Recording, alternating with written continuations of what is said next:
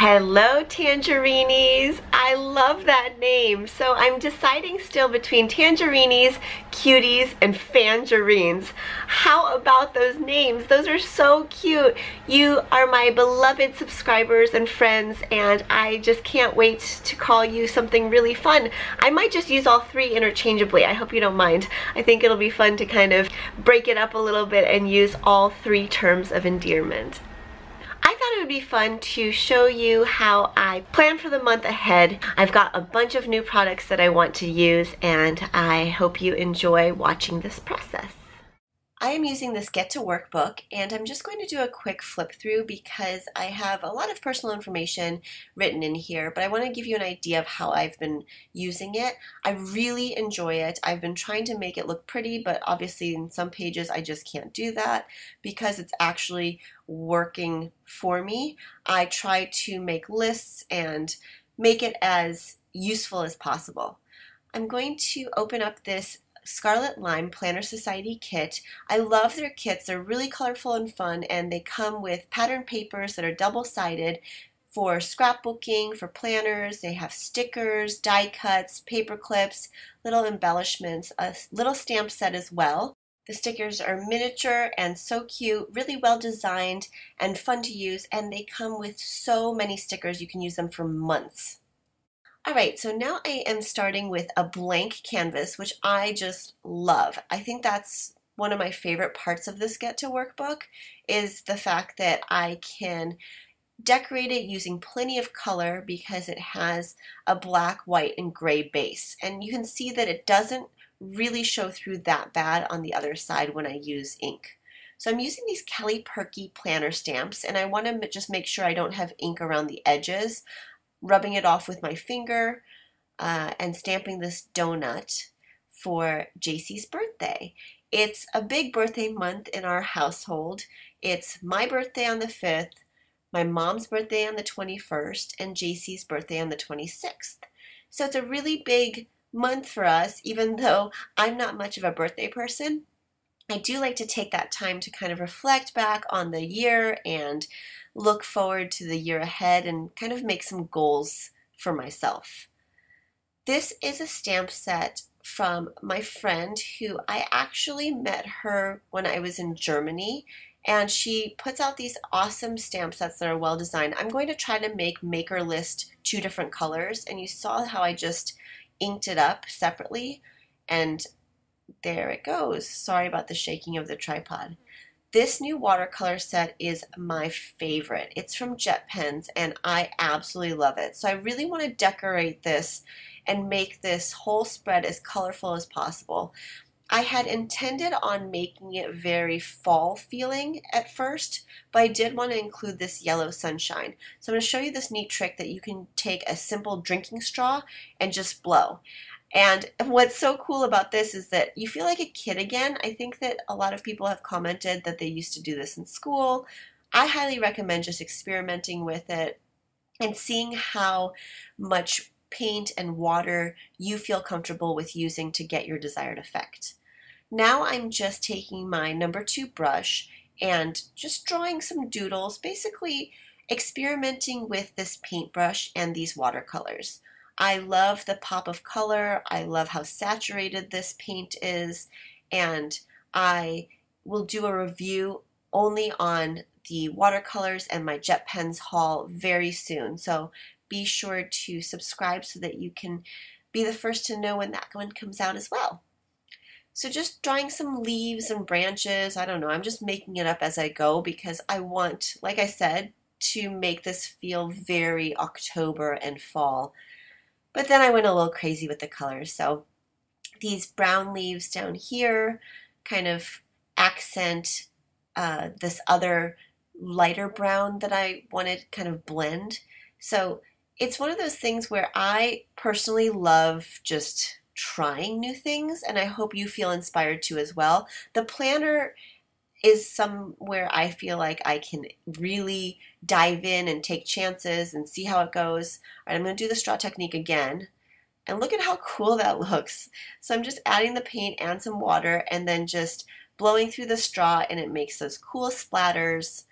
Really fun technique that I've used for years after seeing it in a book. I think the book is called Paint Paper. Um, you know what? I'll have to look it up and link it below. It's a really great book and got me inspired to try new things with watercolors and brush script and just really experiment. Sometimes I feel like we put so much pressure on ourselves to make everything look perfect that we don't really play around and enjoy that time exploring what we want to just try. And I think that the planners are a great place to really kind of explore and I don't know why I can't think of a different word besides explore. Really test out those things that you may have wanted to try out.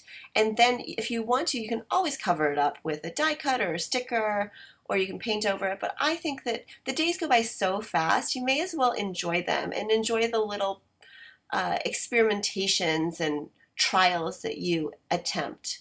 I think all the stamp sets that I'm looking at here include a donut. There's one from Kelly, there's one from this brand, Papier Projekt. I think that's how you say it. And so I'm going to include this one on JC's birthday and kind of part of, of the maker list because he loves donuts.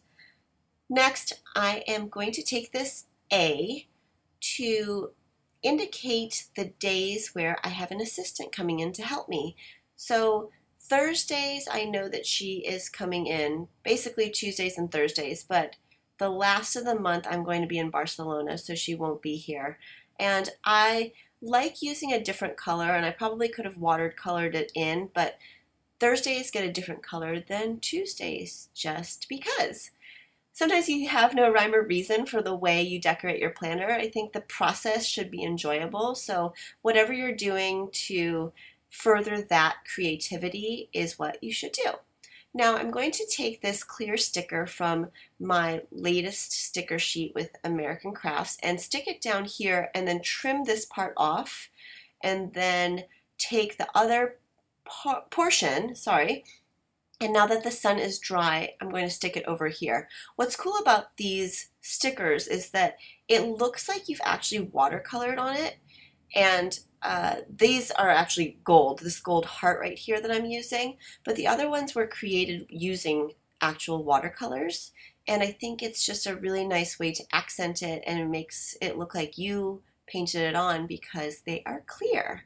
Now you have to be careful when you're peeling off. Try not to get the backing.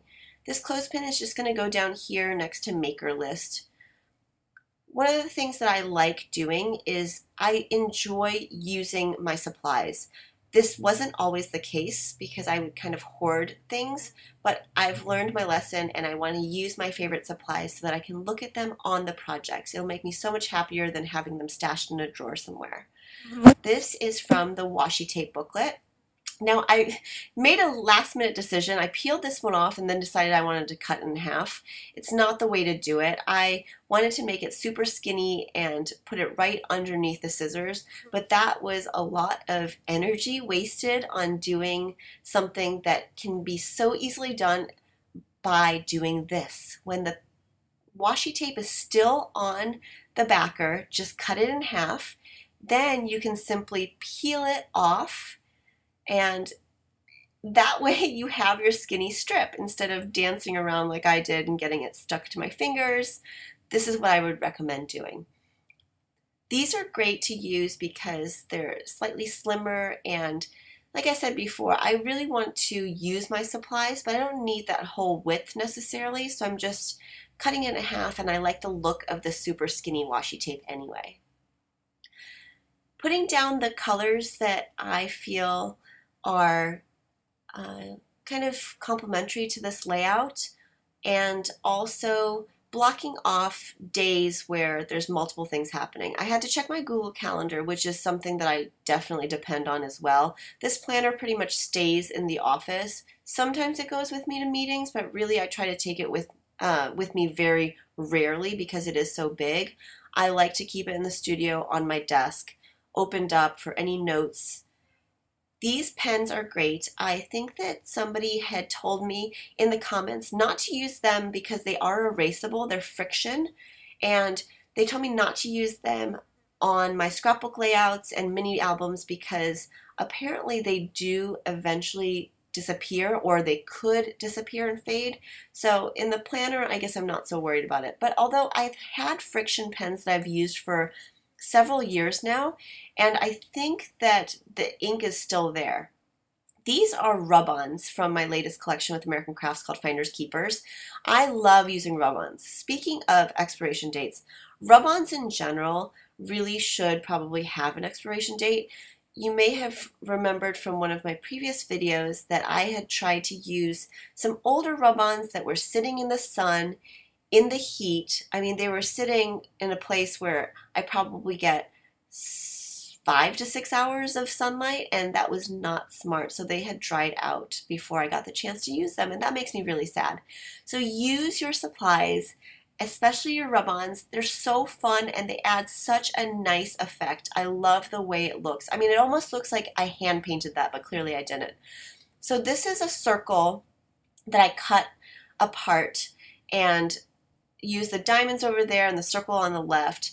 And I am just going nonstop with these rub-ons because I do want to try to use up the entire sheet if I can just because all the colors are looking so vibrant. I like the contrast of the black as well. Instead of doodling these yourself, the rubbing on part actually feels kind of therapeutic and I quite enjoy it.